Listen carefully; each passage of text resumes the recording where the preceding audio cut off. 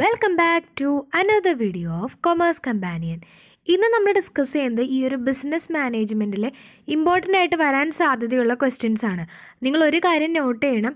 ഈ ക്വസ്റ്റ്യൻസ് മാത്രം പഠിക്കരുത്. നിങ്ങളിതൊരു റിവിഷൻ പർപ്പസിനായിട്ട് ഈ ഒരു ക്വസ്റ്റ്യൻസിനെ ഡിപ്പെൻഡ് ചെയ്യുക.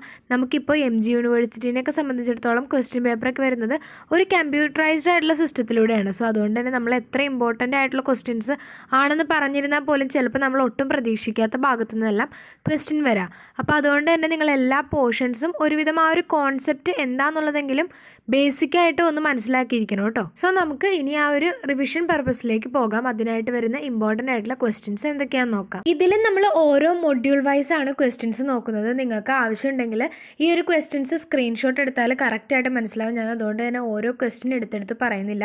മൂന്ന് കാറ്റഗറി ആയിട്ടാണ് ക്വസ്റ്റ്യൻസ് പറഞ്ഞിട്ടുള്ളത്. ആ ഒരു ഫസ്റ്റ് മൊഡ്യൂൾ കഴിയുമ്പോൾ പിന്നെ നമ്മൾ പറഞ്ഞിട്ടുള്ളത് രണ്ടാമത്തെ മൊഡ്യൂളാണ് ഇവിടെ നമ്മൾ ഈ ഒരു ഷോർട്ട് ആൻസർ അതുപോലെ തന്നെ ബ്രീഫ് ആൻസർ ക്വസ്റ്റ്യൻസ് പറഞ്ഞിട്ടുണ്ട്. ഈ ഒരു ഷോർട്ട് ആൻസർ എന്ന് പറയുന്നത് രണ്ട് മാർക്കിന് വരാൻ സാധ്യതയുള്ളതാണ്. ദെൻ ഈ ഒരു പ്ലാനിങ്ങിന്റെ എസ് എ ക്വസ്റ്റ്യൻസ് നമ്മൾ ഡിസ്കസ് ചെയ്യുന്നുണ്ട്. അതോടൊപ്പം തന്നെ നമ്മൾ നെക്സ്റ്റ് ചാപ്റ്ററിലേക്ക് പോകാമെന്നുണ്ടെങ്കിൽ നെക്സ്റ്റ് ചാപ്റ്റർ വരുന്നതാണ് ഓർഗനൈസിങ് ഓർഗനൈസിങ്ങിൽ നമ്മൾ പറയുന്നുണ്ട് ഷോർട്ട് ആൻസർ ക്വസ്റ്റ്യൻസ് അതുപോലെ തന്നെ ദെൻ വരുന്നതാണ് അതിലെ ബ്രീഫ് ആൻസർ ബ്രീഫ് ആൻസർ ഉദ്ദേശിക്കുന്നത് അഞ്ച് മാർക്കിന് വരാൻ സാധ്യതയുള്ള ക്വസ്റ്റ്യൻസ് ആണ്. ദെൻ നമ്മൾ ഈ ഒരു ഓർഗനൈസിങ്ങിലെ എസ് എ ക്വസ്റ്റ്യൻസ് ഡിസ്കസ് ചെയ്യുന്നുണ്ട്. ദെൻ അത് കഴിഞ്ഞ് വരുന്ന മൊഡ്യൂളാണ് ഡയറക്റ്റിംഗ് ആൻഡ് കൺട്രോൾ എന്ന് പറയുന്നത്. ഈ ഒരു ഡയറക്റ്റിംഗ് ആൻഡ് കൺട്രോളിൽ നമ്മൾ ഷോർട്ട് ആൻസർ ക്വസ്റ്റ്യൻസും അതുപോലെ തന്നെ ബ്രീഫ് ആൻസർ ക്വസ്റ്റ്യൻസ് ഡിസ്കസ് ചെയ്യുന്നു. അതോടൊപ്പം തന്നെ എസ് എ ക്വസ്റ്റ്യൻസ് നമ്മൾ ഡിസ്കസ് ചെയ്യുന്നുണ്ട്. ഈ ഒരു ഡയറക്റ്റിംഗ് ആൻഡ് കൺട്രോൾ കഴിഞ്ഞിട്ട് വരുന്ന നമ്മുടെ ലാസ്റ്റ് മൊഡ്യൂളാണ് മാനേജ്മെന്റ് ടെക്നിക്സ് അതിനകത്ത് നമുക്ക് കുറേ ടെക്നിക്സ് പഠിക്കാനുണ്ട്. ആ ഓരോ ടെക്നിക്സിനെയും ബേസ് ചെയ്തിട്ടുള്ള ക്വസ്റ്റ്യൻസ് ആണ് ഷോർട്ട് ആൻസർ ക്വസ്റ്റ്യൻ ആയിട്ടും അതുപോലെ തന്നെ ബ്രീഫ് ആൻസറും എസ് എ ക്വസ്റ്റ്യൻസ് ആയിട്ടൊക്കെ കൊടുത്തിട്ടുള്ളത്.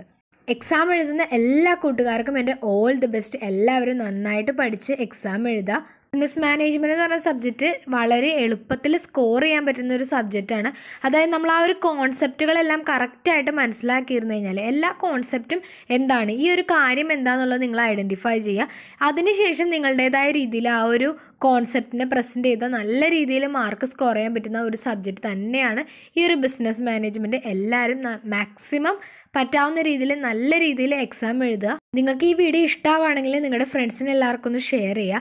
അതുപോലെ തന്നെ നിങ്ങൾക്ക് എന്തെങ്കിലും ഡൗട്ട്സ് ഉണ്ടെങ്കിൽ എന്നെ ഇൻസ്റ്റഗ്രാമിലൂടെ നിങ്ങൾക്ക് സജഷൻസ് ഒക്കെ ആയിട്ട് പറയാവുന്നതാണ്.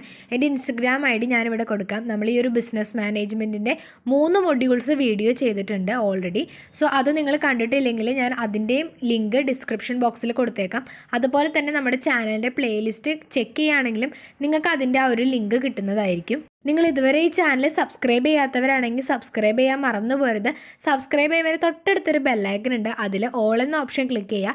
എന്നാൽ മാത്രമാണ് ഞാനിടുന്ന എല്ലാ വീഡിയോസും നിങ്ങൾക്ക് കറക്റ്റായിട്ട് നോട്ടിഫിക്കേഷൻ കിട്ടുള്ളൂ. എല്ലാവരും നല്ല ഹാപ്പി ആയിട്ട് എക്സാം എഴുതുക. B U B unique